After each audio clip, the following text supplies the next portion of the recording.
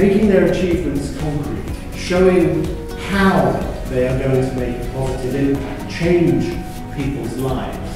That's what is the most powerful storytelling. We see this again and again.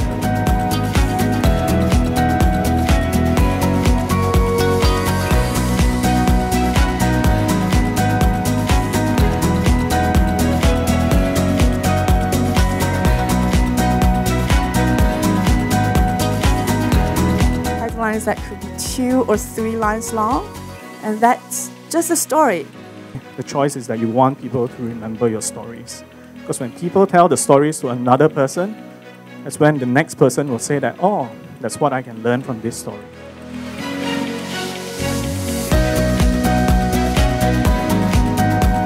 If you want to get a piece of information and get people to truly engage with it, then it must be about people. Because remember, this is about this is for people.